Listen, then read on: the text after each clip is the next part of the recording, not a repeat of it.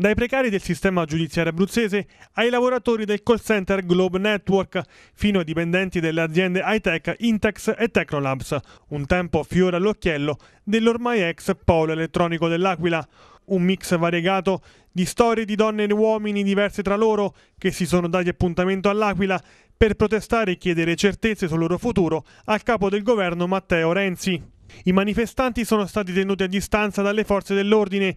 Gli scontri e i disordini dello scorso mese di agosto, quando Renzi si recò all'Aquila per la prima volta, non si sono verificati. Solo fischi e slogan, che seguono quelli dell'altra protesta eclatante andata in scena solo qualche giorno fa in occasione del passaggio del Giro d'Italia. Andremo da Matteo Renzi per chiedere che sostenga la nostra causa di continuità del lavoro all'Aquila, quindi chiediamo a Renzi che ehm, dia ancora una volta, lo ribadisco, la possibilità ai 234 lavoratori di Globe Network di continuare a lavorare per H3G. Di cercare di mantenere soprattutto l'economia italiana perché con la nostra azione eh, stiamo fermando tutte le acciaierie, quindi automaticamente l'economia si ferma e non, solo, eh, non sono solo 80 persone che rischiano di perdere il posto ma saranno più di 100.000 perché fermandosi stiamo collassando il mercato dell'acciaio italiano. Ha dichiarato la cassa integrazione, quindi un percorso verso la chiusura dello, stab dello stabilimento aquilano.